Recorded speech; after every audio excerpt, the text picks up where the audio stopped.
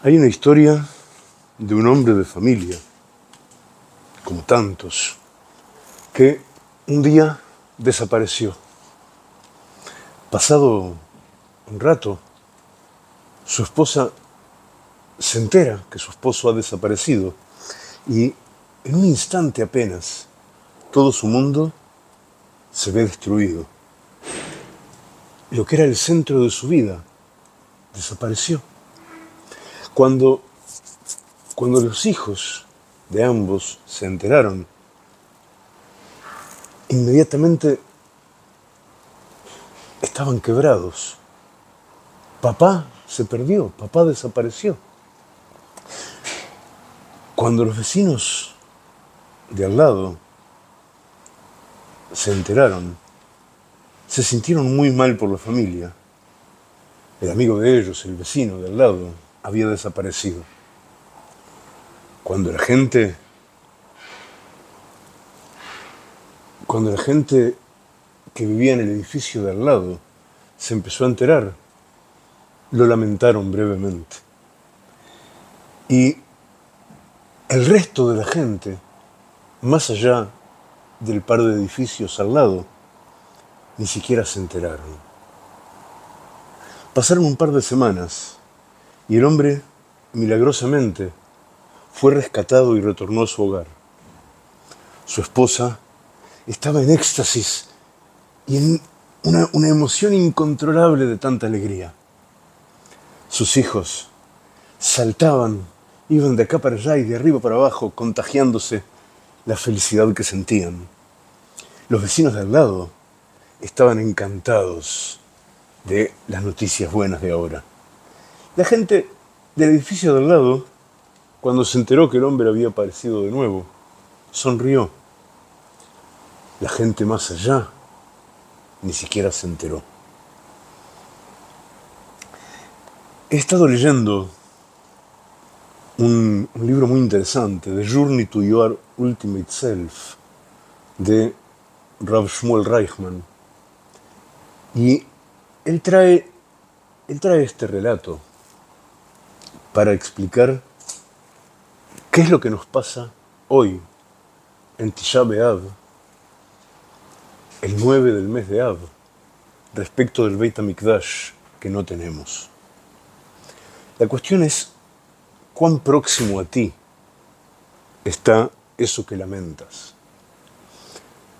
Nos sentamos judíos de todo el mundo cada año en Tisha B'Av y nos sentamos en sillas bajas y ayunamos.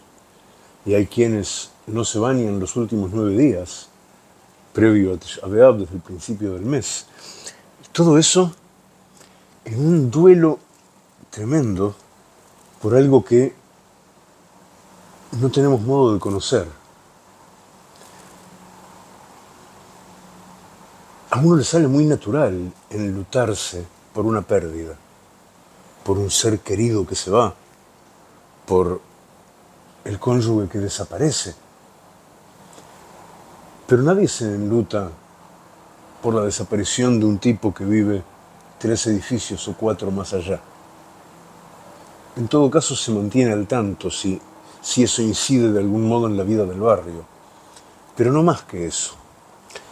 Si cada año, cuando llega esta fecha, y en general en Tisha hemos hecho encuentros en vivo, o he preparado videos largos, y siempre hay algo de esta paradoja.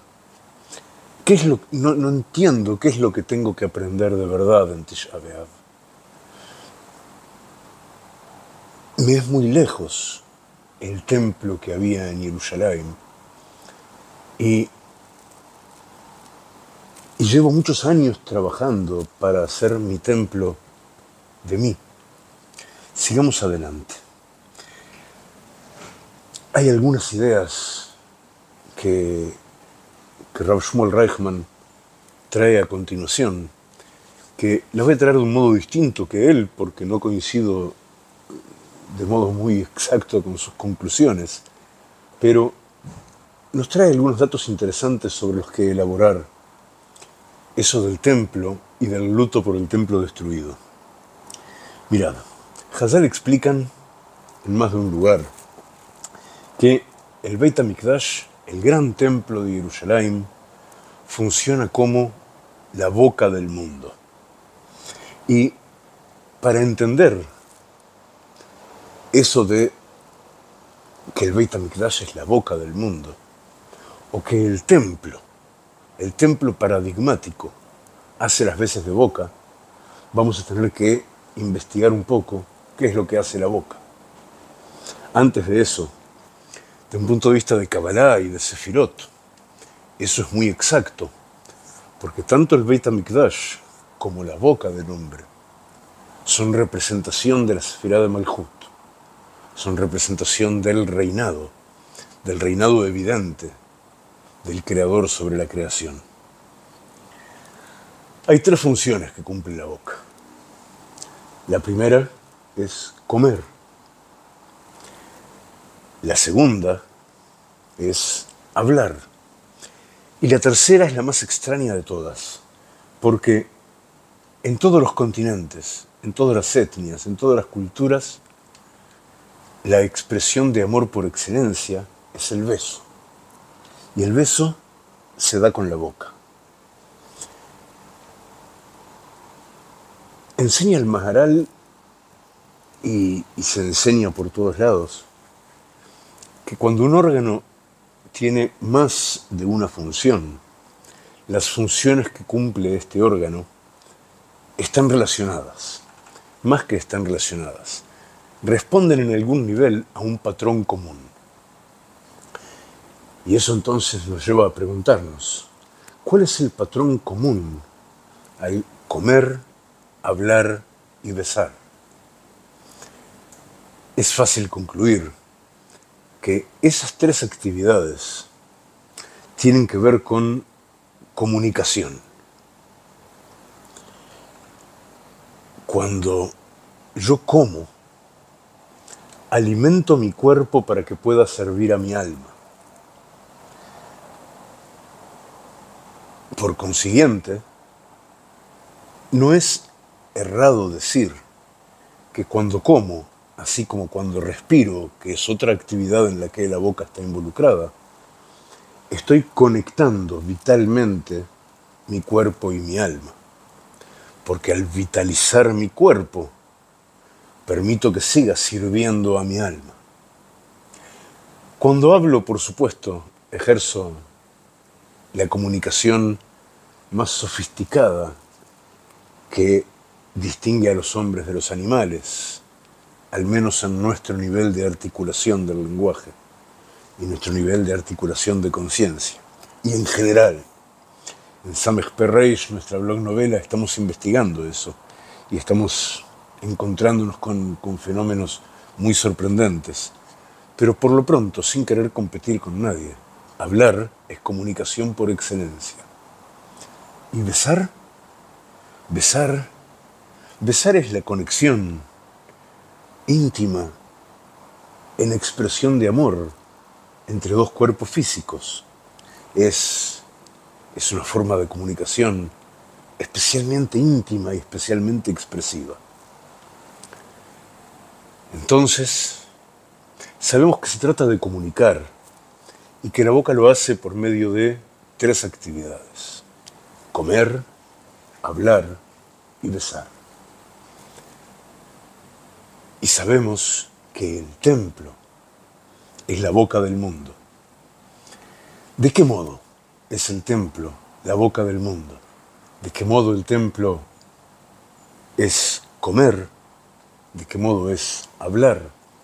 ¿De qué modo es besar?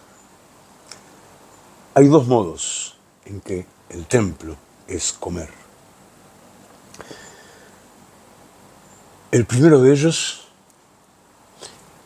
habla de la relación entre los cielos y la tierra. En, el cosmos, los cielos dan de comer a la tierra. En el hombre,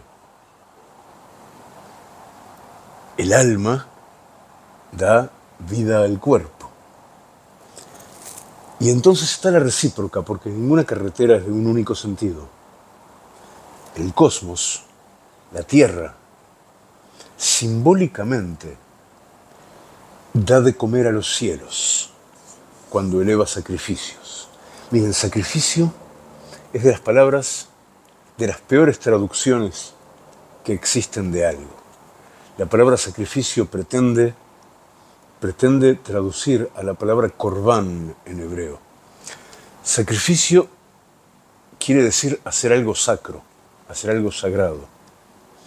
En hebreo es mucho más sencillo. Un corbán sale de la palabra karov, que es algo próximo, algo cercano. Yo acerco a mi Dios de lo mejor que tengo. Y no vamos a entrar en eso, pero para todos los que arguyen crueldad y demás, los sacrificios se comen. De modo que es, es lo mismo que cuando se faena al animal para comer, solo que en el caso del sacrificio hay un trabajo sagrado de por medio. Yo ofrezco a los cielos en forma de sacrificios, en forma de corbán, acerco mi gratitud y lo hago con los elementos del mundo en que vivo, que es este, el material. Entonces, de los cielos en el Beit HaMikdash recibimos el presupuesto para nuestra comida, para nuestro sustento, y nosotros elevamos comida de los cielos. La comida de los cielos no es el animal, la comida de los cielos es el aroma del sacrificio.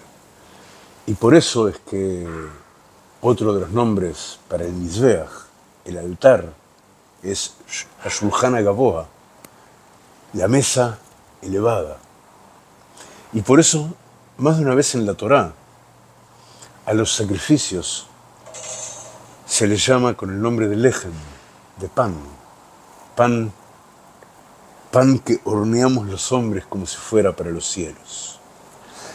La segunda actividad de la boca es hablar. Y dice la Torá en el libro de Shemot, a ver, a ver, a ver, estamos en muchos lados a la vez. En Shemot, capítulo 25, 22, se explica que en el Santo Sanctorum, en el Kodesh Kodashim, en el lugar más sagrado del templo, y ahí estábamos hablando del templo móvil que va por el desierto, pero lo mismo para todo templo. En el centro, en el lugar más sagrado del templo, está el arca del testimonio. Y dentro del arca están nada menos que las Lujota Brit, las tablas del pacto, las segundas que están enteras y los restos de la primera. Y también está el recipiente que preparó a Aarón con man, con maná del desierto.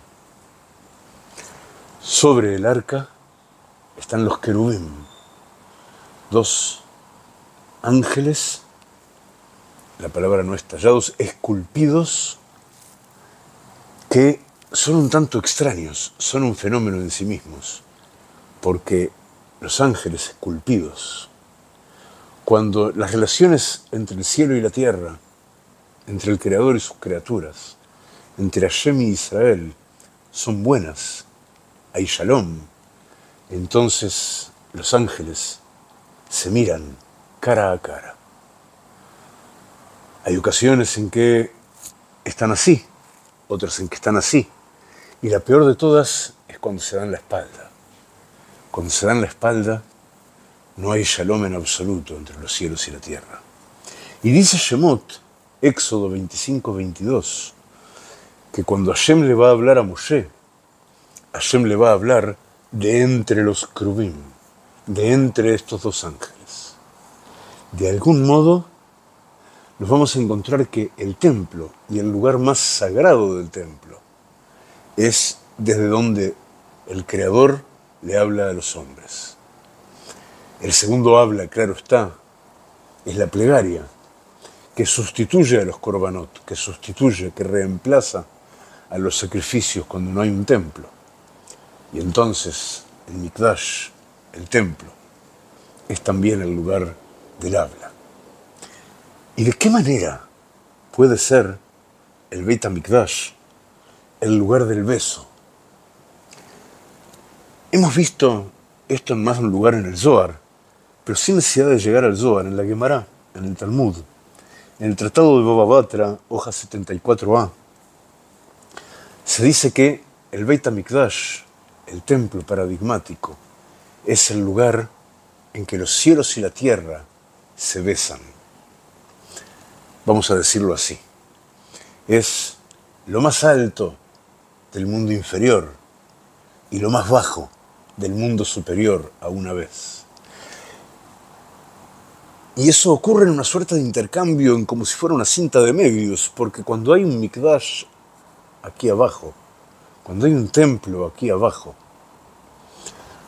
hay un templo simétrico, donde los ángeles, allá arriba o allá adentro, y cuando hay trabajo sagrado en el templo de abajo, lo hay en el templo de arriba. Y eso es, pensar en la figura, eso es lo más cerca que los cielos y la tierra pueden llegar a tocarse en ese estado de beso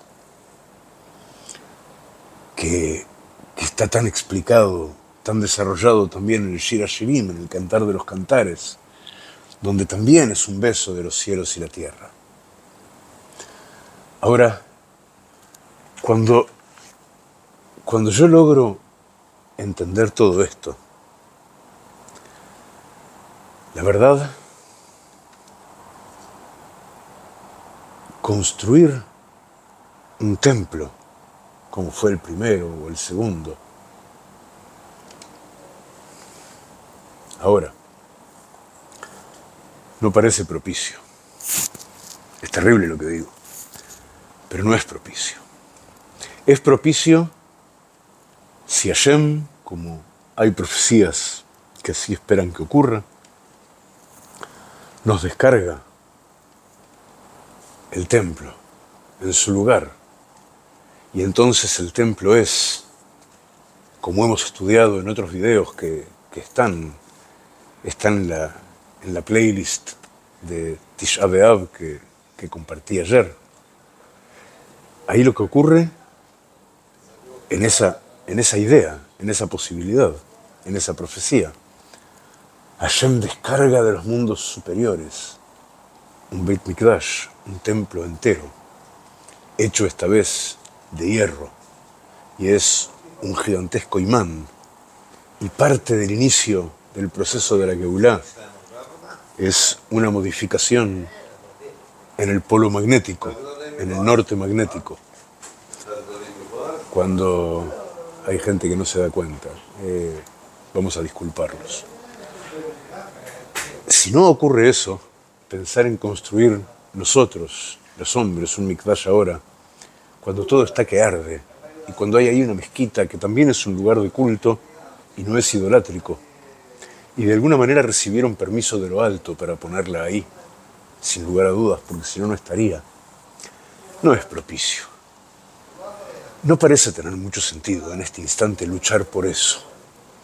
Y sin embargo, como estudiamos todos los años, cada vez que me enfrento personalmente a la idea de, del luto de Tisha B'Av y digo, no, lo que hay que hacer no es luto, lo que hay que hacer con urgencia es Teshuvah, para merecer el templo nuestro de nuevo. Teshuvah. Cuando decimos eso, entonces digo, yo quiero constituirme un templo. Como dice la Torá, y esto lo hemos estudiado de tantos modos, hacedme un templo y yo moraré dentro de vosotros. Y entonces, y entonces nosotros hacemos un templo, hacemos el templo de pasos, que se construye de los pasos templares de todos nosotros juntos. Y ahora tenemos un dibujo nuevo, porque sabemos que el templo es como la boca del mundo. Y el templo debe ser sagrado. Y la boca come, habla y besa. ahora sé es una formulación que no teníamos hasta ahora. Y es bellísima, porque a poco que empecemos a escarbar en estos tres detalles, seguramente nos vamos a encontrar de que estos tres detalles van a arrojar sacralidad sobre todo.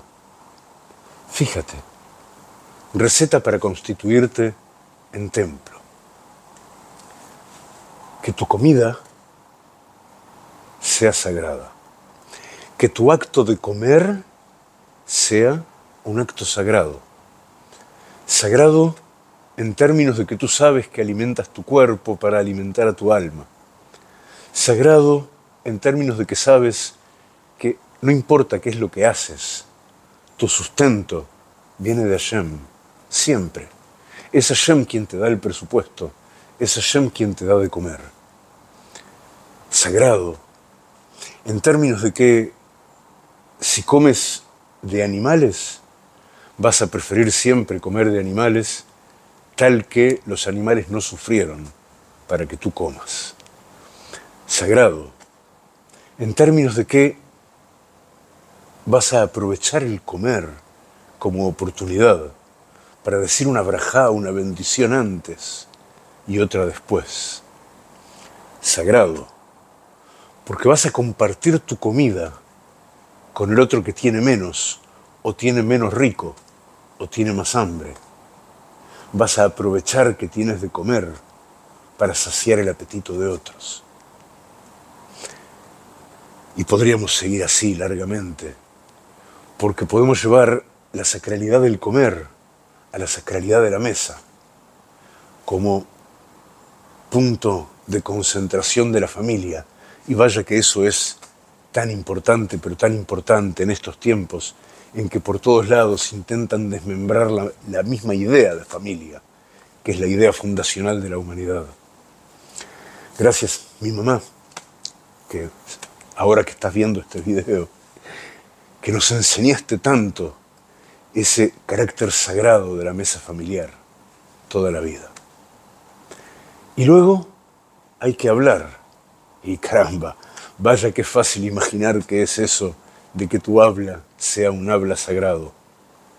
Allende la plegaria, allende el estudio de Torah o la enseñanza de Torah en voz alta, que todo lo que hablas sea sagrado, que todo lo que hablas sea verdad y que todo lo que hablas sea oportunidad de sumar bien y sacralidad.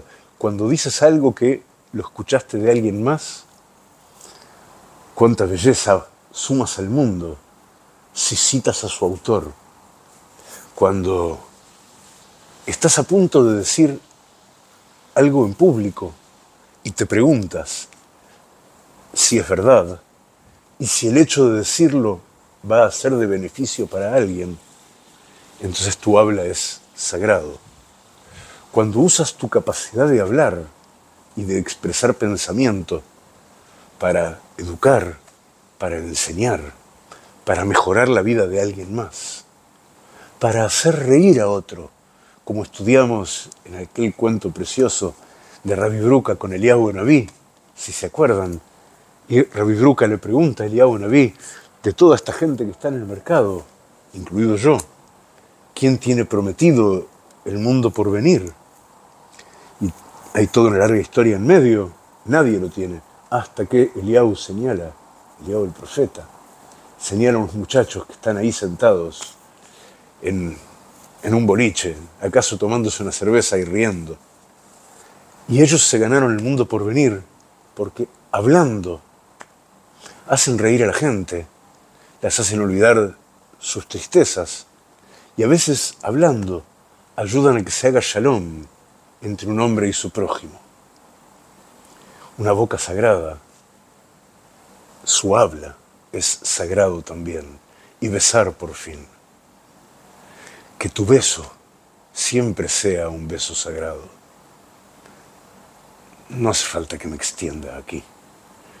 Tu beso de hijo, de hermano, de padre. Tu beso de novio. Tu beso de pareja. Que sea sagrado desde donde se lo mire. Que siempre sea sagrado. Que no sea un camino hacia algo más o algo conseguido arteramente. Que el beso sea siempre la conexión sagrada entre los cielos y la tierra de ida y vuelta. Que el beso sea siempre la conexión entre el comer, representando el sustento material, y el habla, la expresión de la mente, entre dos. Que sea siempre almas que se conectan entre sí. Y así entonces, Ave Ave, el 9 de Av, que este año en esta tierra es especialmente triste. Por fin, si logramos hacer, si logramos entender que el templo que perdimos es la boca del mundo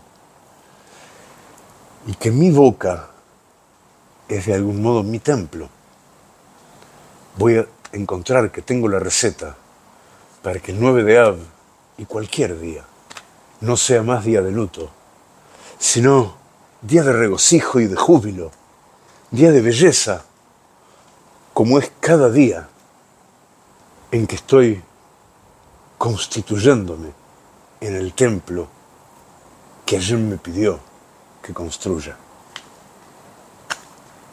Qué ganas que tengo de poner a crecer de veras nuestro proyecto del Templo de Pasos.